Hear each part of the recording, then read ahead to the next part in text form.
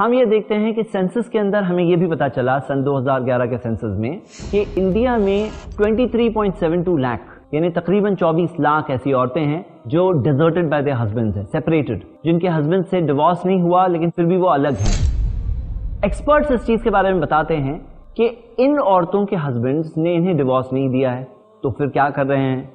वो कहते हैं कि ये इंडिकेट करता है कि एक तरह से एक हिडन वे में वो रिलेशंस एक्स्ट्रा मैरिटल रिलेशंस या हो सकता है पॉलीगमी प्रैक्टिस की जा रही है।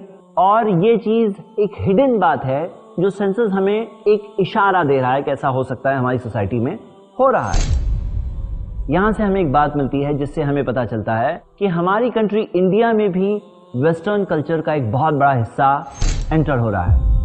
सुप्रीम कोर्ट के कई केसेस से हमें पता चलता है कि लिव इन रिलेशनशिप्स को एक तरह की एक्सेप्टेबिलिटी इंडिया में मिल रही है। साथ साथ में हम देखते हैं कि ऐसे भी जजमेंट्स हैं कि protection of women from domestic violence act 2005 उसके अंडर में ये जो वर्ड्स है relationship in the nature of marriage in words को इंटरप्रेट करते हुए एक्स्ट्रा मैरिटल अफेयर्स या लिव इन रिलेशनशिप्स को अलाउ किया गया है और इसके तहत लाया गया है। My dear brothers and sisters हम ये देखते हैं कि लिव इन रिलेशनशिप्स में जो औरतें होती हैं, क्या उन्हें मेल काउंटर पार्ट से कोई सीरियस कमिटमेंट मिला है? जो सीरियस कमिटमेंट का नाम है मैरिज वो कमिटमेंट तो ऑब्वियसली नहीं मिला है, इसीलिए वो आउट ऑफ़ मैरिज हैं। तो इसमें सिक्योरिटी क्या होती है? प्रेग्नेंट होंगे तो वो होंगे। अबॉर्शन वाली बातें जब आएगी तो उनके लिए आएगी। बच्चे को दूध पिलाना है, बच्चे की परवरिश करना है तो उन्हें करना है।